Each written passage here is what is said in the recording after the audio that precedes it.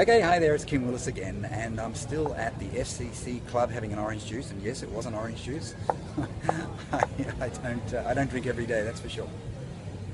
Uh, but uh, yeah, this is a very famous uh, club. If you ever come to Phnom Penh, Cambodia, make sure you make a beeline for the FCC Club because it's got great views of the river. Um, lights are twinkling, boats going up and down. It's, it's quite pleasant.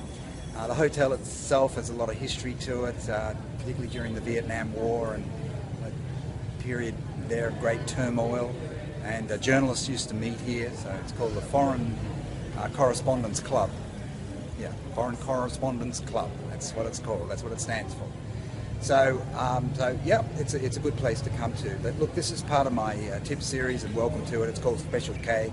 This is another one in the series, and this one is called Learn How to Engage with People Properly.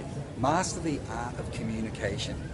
So whether you're talking to someone on the phone, whether you're talking to them on Skype or Facebook Messenger or something like that, doing a voice call, or you're just using text-based uh, marketing. You, you're conversing with people using, say, the Messenger tool on Facebook, or some other method, uh, or even even uh, engaging with people on your personal profile. If you've got a Facebook group in there, uh, on your business page, if you've got that, Twitter, Instagram, all of that, you've got to engage with people. Um, first step is to encourage them to engage with you first, right? So if we're talking about your Facebook wall, you want to produce content that is designed to get people to lean forward and say something, or at least like your post, or even better, share your post, and uh, that would be uh, that would that will definitely help. And then uh, you start chatting with people, look for opportunities and almost excuses to chat with people on Facebook, new friends, uh, you know, open a conversation. Hey, what sort of business are you doing? Or you say, you know, I see that you're involved with XYZ business. Um, how's that going for you at the moment? And you start engaging with people, not pinch pitching them, uh, just being interested and helpful.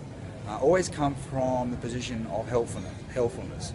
You, yeah, helpfulness first. And sure, you've got to uh, have a commercial sense about you. You don't just give indefinitely without strings. You, you have to, uh, there has to be some sort of commercial reality uh, here. But initially, uh, no great need to be uh, hustling people. It'll only scare them away, and you know it affects you, has a bad effect on your brand, etc. But you should practice the, the the gentle and compelling art of conversation, good conversation. It's amazing how many people are not good at conversation. They're just you know, monosyllabic answers, that type of thing. Um, if somebody gives me monosyllabic answers, I'll pull them up on it. I, I will. I'll pull them up on it and say, is this the way you engage on Facebook? Is this the normal way you engage on Facebook? Because uh, if this is the way you think, you think this is the best way to do business on Facebook, you're going to have a problem because it, it's not the way it works. So, um, so yeah, so master the art of directed conversation, um, commercially oriented conversation, perhaps, but uh, always be take an interest in the other person, make it helpful, um, look for ways to solve their problem, see if you can find out what their problem is. You'll be amazed, some people will really open up to you. So there's my tip for today, for tonight, the Special K. This is Kim Willis now. Uh, if you're not already in my Tribe Builder group, go go do go do that. Go and uh, make a request to join. And uh, if you're um, if you're a quality person, you'll get approved.